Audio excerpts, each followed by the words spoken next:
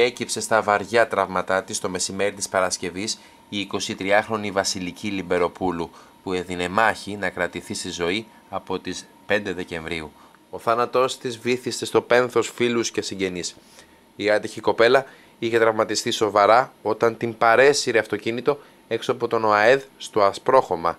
Δυστυχώς είναι ο δεύτερος νέος άνθρωπος που φεύγει από τη ζωή από τροχαίο δυστύχημα μέσα σε λίγες ημέρες ύστερα από τον 26χρονο Χρήστο.